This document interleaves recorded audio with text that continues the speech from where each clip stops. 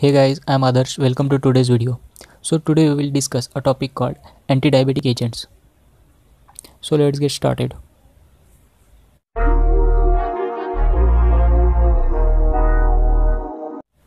We will see the definition and classification of anti-diabetic agents. Definition of anti-diabetic agents. These are the drugs used in diabetics to treat diabetes mellitus by lowering the glucose level in the blood the classification of anti-diabetic agents. First one is sulfonylureas.